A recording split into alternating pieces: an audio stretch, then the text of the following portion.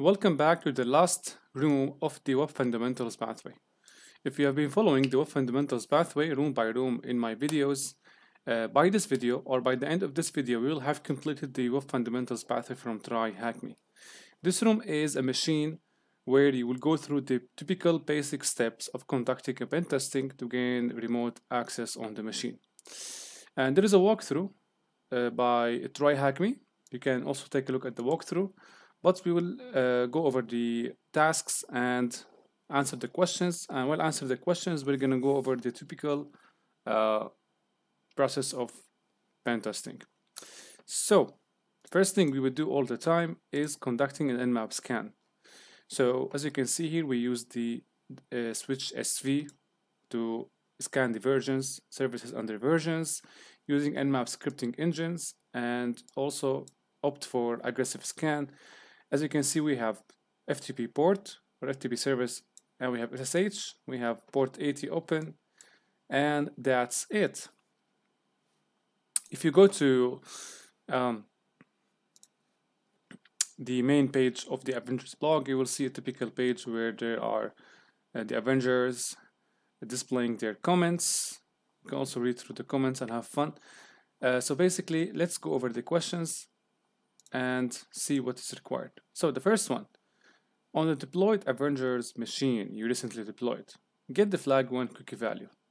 So basically, it is as if uh, it's asking us what is the cookie value. So basically, to view the cookies, we have to press F12, open the developer console, go to cookie editor, and here you will see the cookie. The cookie value happens to be the flag value, which is cookie secrets. Okay, easy. Hey HTTP headers. Now the question is, look at the Hey HTTP response headers and obtain flag 2. To obtain the flag, you will have to st uh, stay within the uh, developer console, go to network, and reload the page to view the GET request in real time if you look at the first GET request sent from your browser to the server, you will see that in the response headers here, uh, the flag value is headers are important. So let's copy that and answer with it.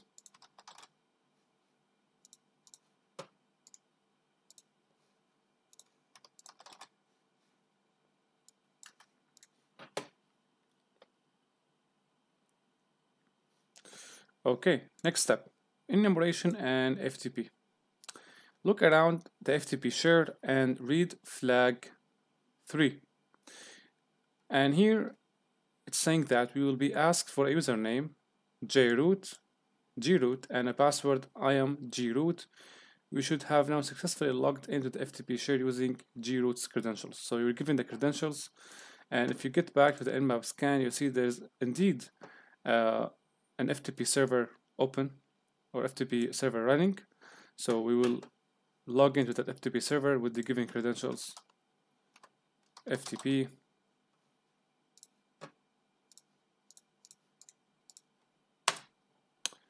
Now, the credentials are groot and I am groot.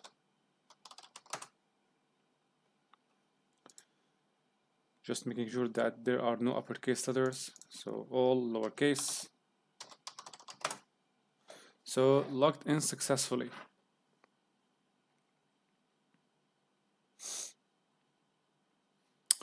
So let's see now ls so we have um, files directory.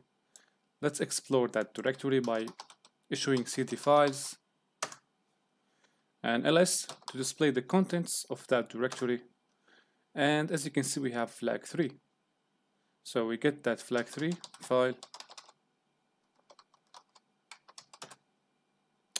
and we exit. Cat flag 3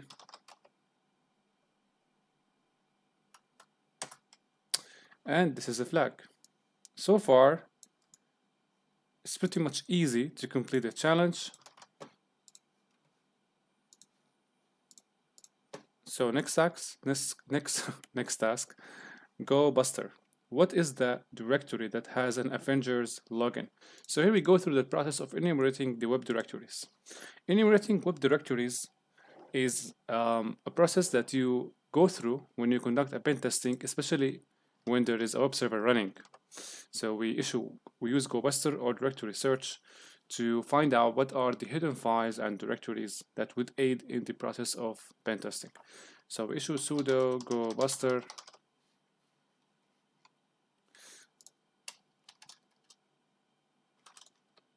So here is the command. I'm gonna change only the IP of the machine. So there you go, the IP.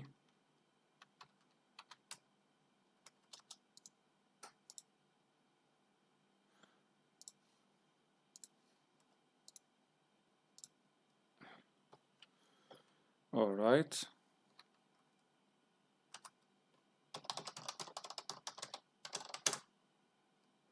So first we're trying with this word list. See we have home, image, assets, portal. What is that question? What is the directory that has an Avengers login? So the word here is pretty descriptive of the nature of the page, right? Portal It means that there is something there that, that requires a login. So let's get that.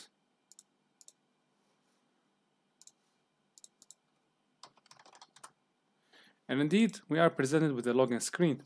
So let's stop the search because we have found what we were looking for. And um, we go back, we type slash portal.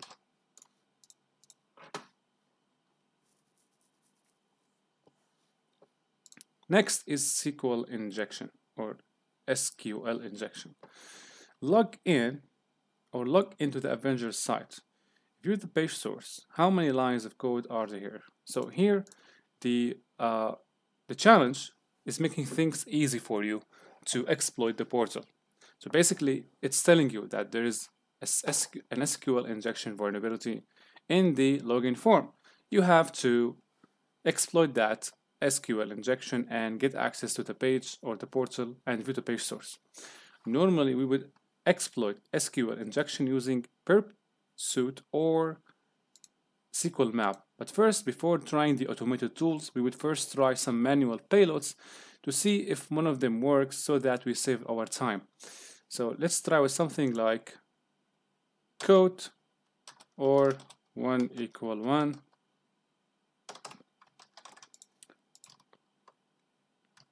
Let's try in the both username and password field, sign in. And indeed it worked. So the site is vulnerable to SQL injection. Now we got access to the page. Let's view the page source and see how many lines of code are there. You see here we have, if we scroll down, you can see the number of lines are or is 223 or 223. Let's try this number. Yes, true. Lastly, remote code execution and Linux. So basically here, the question is read the contents of flag5.txt. But before reading that, let's go through the intro. So you should be logged into the Jarvis access panel. Here we can execute commands on the machine. I wonder if we can exploit this to read files on the system.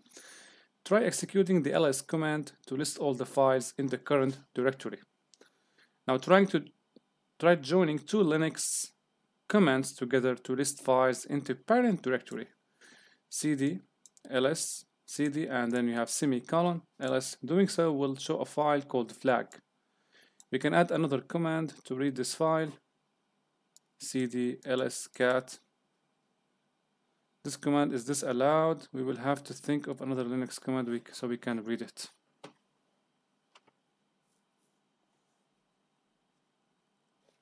So here is basically you have uh, a portal page all right and the portal page has an application that connects your input and executes the input on the system. So if you type ls for example as suggested by the tutorial and enter you see we actually uh, can read the contents of the current working directory. If we type id, command is disallowed. So some commands are disallowed. If we try nc, netcut, also netcut is disallowed. So there is a filter uh, that uh, actually looks into your comments and you know filters your commands according to a specified or predetermined rule. If your commands uh, are within the whitelist that is set by the application, then your commands will be executed. If your commands are not in the whitelist or the black or they are in the blacklist, uh, you will get command disallowed. So let's get back and see here the challenge. So as you can see, if we take this one, see here the command is disallowed again. So here we are cding back. Let's try only cd.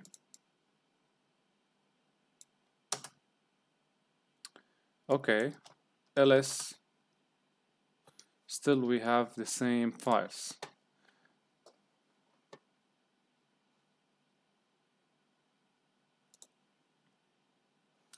So technically the flag file does exist in the parent directory. And when we issue cd only to cd to that directory and ls the files or ls the contents, uh, as you can see, we still can't see the actual flag file. So we have to find a way to get around this. Basically, we can do something uh, called reverse. If you go to, so here, if you type rev command,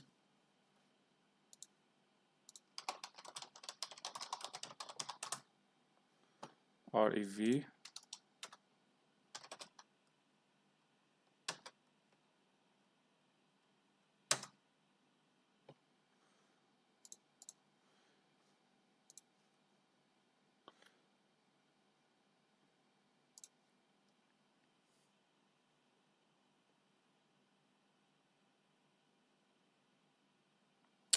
So we can we can use this command actually. See if it's allowed. Let's type rev first.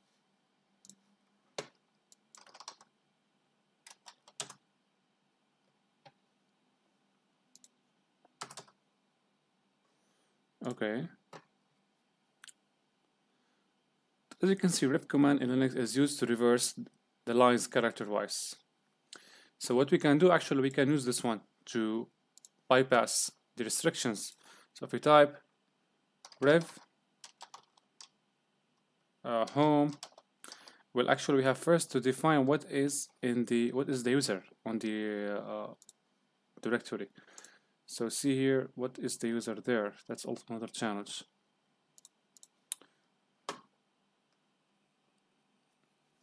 ls home, can I do that? Yeah, as you can see, we have two users, groot and ubuntu. So the flag is definitely in one of these. Let's try ubuntu. Actually, as you can see, the flag is here. If we try cat, command is disallowed. So you can't read the contents of the flag. Because cat command is disallowed. Back to ls, we have the flag 5.txt. What we can do here, we can use rev, rev. So rev slash flag 5 and then we pipe to rev again as you can see the flag is here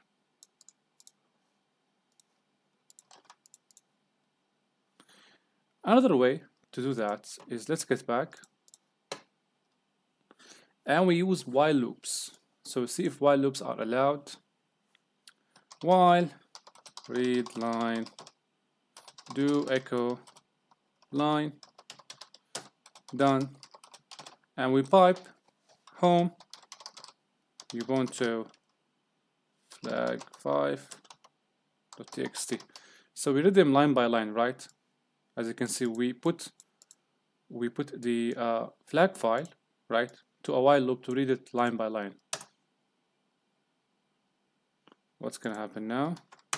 I think I have to type ls and then again the while loop.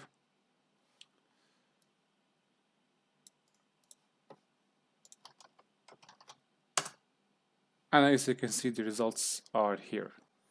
So let's assume that you don't know or or you don't know how to use the while loops and you don't know about the REV command. There's actually another way out to solve this challenge. You can just establish a reversal to your machine.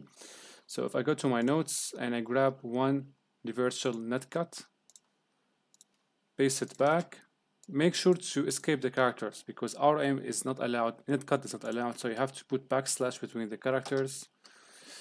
Uh, cat one, we could put one backslash here, one backslash goes here, and also we can, also we can, we have here one backslash. The port is 4545, and this is my IP.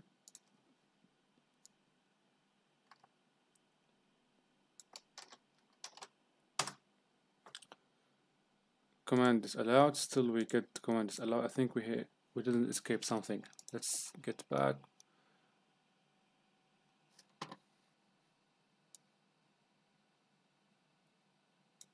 So here we have I think we have mixed some characters. Let's get back see the IP ends in 24 one space here.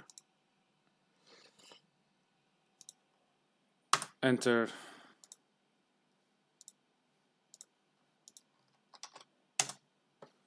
Let's refresh the page.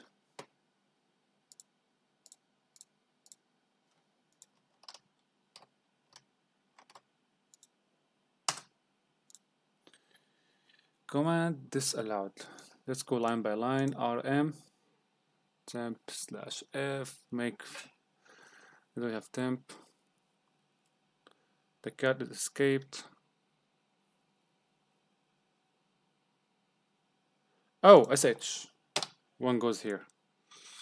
Dash i2 we skipped netcut let's um, also remove this one. Yeah it worked. So we have received one reversal id you are the root user ls go to home. Cd ubuntu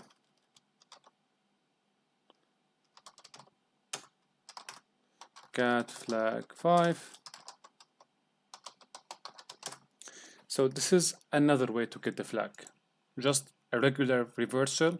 All you have to do is just to escape the uh, commands that are not allowed. Netcat not allowed. Sh not allowed. Rm and cat. Escape them with one backslash between every letter and execute that reversal and you will get the, uh, the connection back Eventually, you will be able to see the flag without the need to uh, use REV or while loops, although it's recommended you know how to use these tools. So, that's it for this video. I hope you find that helpful. And let's go again to the pathway. So WAF fundamentals is 98% complete. I know we have one room called Django, intro to Django. I'm gonna leave that to you. And by far, or so far, we have finished four pathways. Defense, cyber defense, CompTIA Pentest Plus, Web Fundamentals, and Offensive Pen Testing. If you want to see the walkthrough of all these challenges, you can step to the playlist of my channel and um, go through the videos. What is left? We have Complete Beginner and we got also Pre-Security. I'm to go through Complete Beginner in the next videos see what we can accomplish by going through the rooms. So that's it for today and see you in the next video.